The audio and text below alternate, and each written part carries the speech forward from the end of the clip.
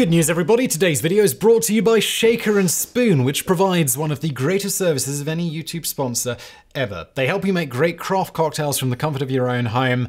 It's not much that beats that. Each month, Shaker and Spoon send you a box with three original recipes crafted by world class bartenders. You just provide one bottle of alcohol, depending on the theme of your box rum, vodka, bourbon, etc. I believe this one is actually Año, which is uh, type tequila, right? And Shaker and Spoon give you everything else. And when I say everything else, I really do mean it. You've got your syrups, you've got your little bitters, you've got uh, even this, this pink grapefruit mixer, which is going to be used. There's also a coconut mixer in here here. There are so many tiny little bottles of everything that it's uh, it's it's a lot of stuff even even more syrups. It's everything you need to make a unique quality cocktail without having to spend hours at the grocery store. Each box contains enough for 12 cocktails or 4 from each recipe. With shaker and spoon, there's no need to seek out hard to find ingredients or buy full-size bottles of things which you end up only using once. It's a super convenient alternative for a little upscale home treat. And on top of that, if you feel like you're always drinking the same sort of basic drinks, it's a great resource to learn some additional drink ideas for the future. So, if you think you'd enjoy some more complex drinks with very simple, easy to follow instructions, or if you know someone else in your life who might enjoy this, try out Shaker and Spoon. Right now, you guys can get $20 off the cost of a box by going to shakerandspoon.com slash brainfood. Again, shakerandspoon.com slash brainfood. $20 off the cost of one box. It's one of my favorite sponsors. Go give them a go. And now today's video.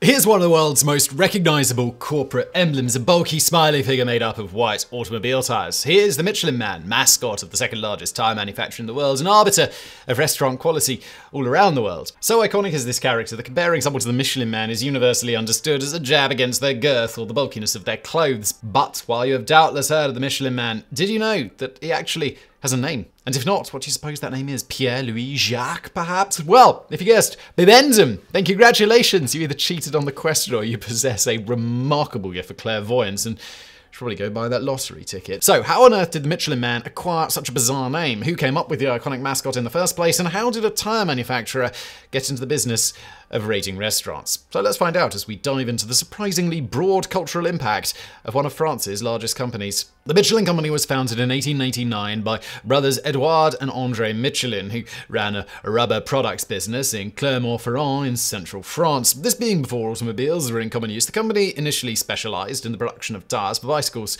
while various proto-bicycles like the pedalless Draisine or the Dandy Horse and the giant-wheeled penny farthing had been around for nearly a century. It was not until the invention in the 1880s of the safety bicycle, with wheels of equal sizes and a chain drive, that the sport of cycling really took off. And we mean took off. In the 1890s, France, along with much of Europe, was gripped by a cycling craze that forever changed multiple facets of society, from fashion and women's rights to popular culture, science, and even warfare. And for more on the surprisingly outsized impact of cycling on history, please do check out our previous video, How Bicycles Caused the Downfall of the British Empire. Now, according to Michelin Company lore, the Michelin brothers' first encounter with the booming industry that would soon make their fortune took place in 1889 when a cyclist with a punctured tyre showed up at the factory seeking repairs.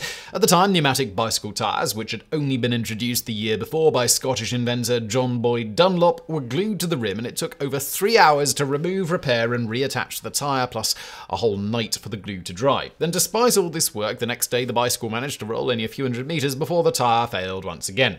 Convinced that there had to be a better way, on May the 28th, 1889, the brothers incorporated the Michelin Tire Company and set about developing a new kind of bicycle tire that could be easily removed and reattached to the rim, a design they perfected and patented two years later in 1891.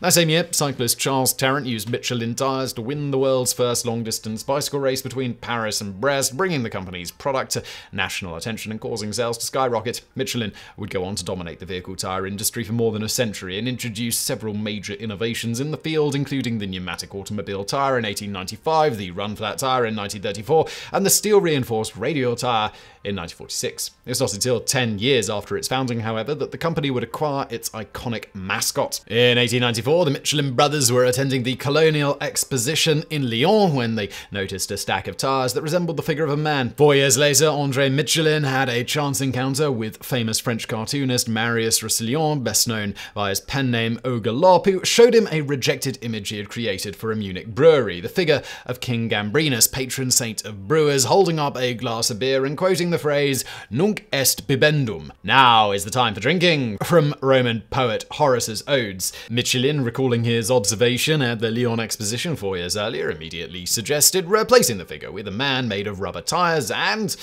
an advertising icon was born. The Michelin Man made his first appearance in an 1898 poster designed by O'Galop, in which the character, flanked by ugly deformed rubber figures caricaturing the heads of competitors Dunlop and Continental, hoists a champagne goblet filled with nails, shards, and broken glass and other sharp objects, and declares, Nunc est bibendum, that is, to your health. Michelin tires drink up obstacles.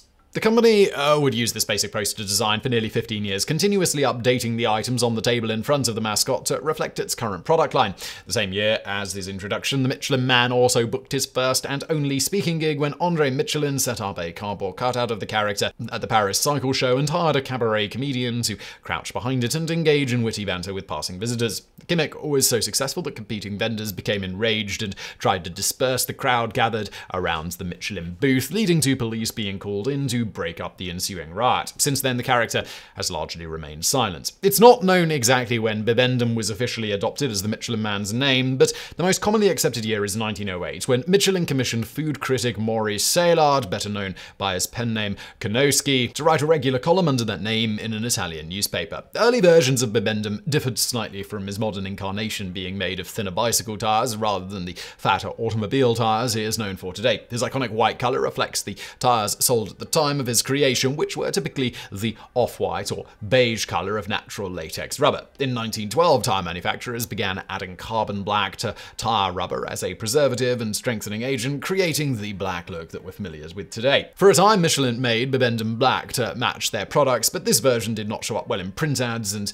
his color soon reverted to white. In earlier ads, Bibendum was also commonly depicted wearing pince-nez glasses and smoking a cigar to reflect the wealthy upper class customers of early autumn automobiles, affections which were gradually phased out as motoring was increasingly embraced by the masses. Over the decades, Bibendum has appeared in all sorts of weird and wonderful guises, including a medieval knight, gladiator, a kickboxer, a helpful roadside repairman, a ballroom dancer, a memoirist, and even a rakish ladies' man, all in the service of emphasizing the toughness and luxurious ride of Michelin tires. And in more recent years, he's gone from fat and awkward to slimmer and athletic, from mummy-like and slightly sinister to rounder, softer, and cuddlier, and in American ads has even gained a pet dog named Bubbles. Naturally, Bubbles is also made out of white tires. This adaptability has allowed Bibendum to survive the test of time and become one of the oldest corporate mascots in continuous use, only beaten out by the likes of the Quaker Oats Pilgrim and Aunt Jemima. The longevity has in turn allowed Bibendum to become one of the most universally recognized and beloved trademarks in the world, with a jury of 22 of the world's top designers and advertising executives awarding him the title of greatest logo in history in the year 2000. According to Edward Mitchell, Michelin, great grandson of the company co founder of the same name and Michelin's CEO from 1999 to 2006, the mascot's success lies in his unique design and perceived personableness, stating, He's much more than an advertising tool or corporate logo. He has lived through the whole history of the automobile. That gives him a status beyond any other type of corporate logo. He's alive. No, really.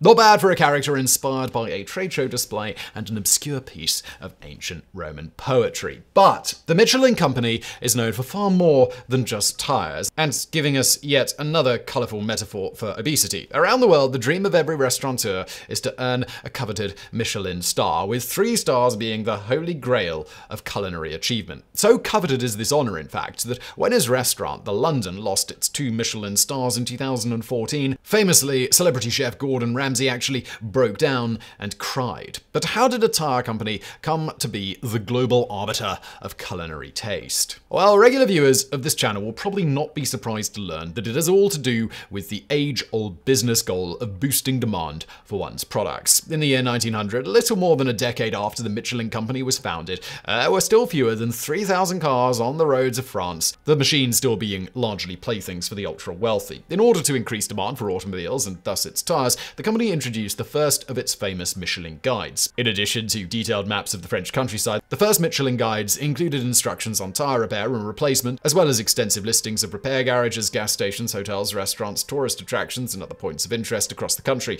35,000 were printed in the first run and distributed for free. The campaign proved a massive hit, and by 1911, Michelin had translated the guides into multiple languages and expanded their coverage across Europe and even to the then French colonies of Morocco, Tunisia, and Algeria in North Africa. America. The publication of the Michelin Guide was suspended due to the outbreak of the First World War in 1914, but resumed shortly after the 1918 armistice. In 1920, Andre Michelin, while visiting a tire vendor, noticed one of his guides being used to prop up a workbench leg. Reasoning that a man only truly respects what he pays for, Michelin decided to stop giving away the guide for free and began charging a nominal price of 750 francs, around $2.15 today. Michelin also removed advertisements from the guide and arranged the restaurant listings into district categories. In 1926, realizing that the restaurant listings were by far the most popular part of the guide, Michelin began hiring anonymous critics to review fine dining establishments across France and assign them a star rating. At first, only a single star was awarded for exceptional quality, but in 1936, Michelin introduced its now standard three star system, with one star indicating a very good restaurant in its category, two stars indicating excellent cooking worth a detour, and three stars indicating exceptional cuisine worth a special journey. Given the prestigious nature of Michelin stars, from the beginning great pains were taken to preserve the anonymity and objectivity of Michelin food critics who were forbidden to speak to journalists or reveal their line of work even to their families, and whose travel and expenses are fully paid for by the company. With the outbreak of the Second World War, publication of the regular Michelin Guide was once again suspended, though in the lead up to the D-Day invasion in 1944, special copies of the 1939 edition were published for the Allied military forces as it contained the most accurate maps of Europe then available. Publication resumed shortly after VE Day in 1945, in the post-war years, the Michelin Guide continued to adapt to the changing times. For example, when widespread food shortages led to a drop in restaurant quality across Europe, Michelin temporarily changed its maximum rating from 3 stars to 2, while in 1955 recognizing that prices at most Michelin-starred restaurants were beyond the means of ordinary diners, it began listing establishments featuring exceptionally good food at moderate prices, a feature known as the Bib Gourmand. And in 2020, the company introduced green stars to recognize excellence in sustainable and environmentally friendly cuisine. More than a century after its introduction, the Michelin Guide is still in print, being offered in two different versions the classic red guides and the green guides, which provide general travel information for specific countries, regions, and cities. The red guides are available in 14 editions covering 23 different countries, making them among the world's preeminent travel and restaurant guides. Meanwhile, the Michelin star system remains the most coveted and exclusive culinary award in the world, with legendary chef Paul Bocuse declaring in the 1960s that Michelin is the only guide that counts. Indeed, in France, the announcement of each year's listings is treated as a major event on par with the Academy Awards, with critics and media outlets enthusiastically speculating on which restaurants will gain or lose a star. As of this recording, there are only 2,651 Michelin starred restaurants worldwide, 2,160 with one star, 385 with two stars, and 106 with the coveted three stars. The country with the most Michelin starred restaurants is, big surprise, France with 628, followed by Japan with 577, Italy with 374, Germany with 307, the United States with 169,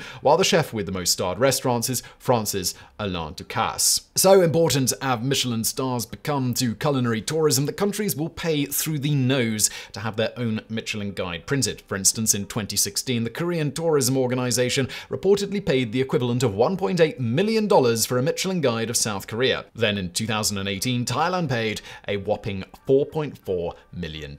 Unsurprisingly, such practices have led critics to accuse Michelin of corruption, while the company's marked bias towards French star cuisine have for decades earned it accusations of culinary nationalism. But given that the whole system was created by a French company a hundred years ago to sell French automobile tires in France, one has to wonder just what the critics were really expecting here.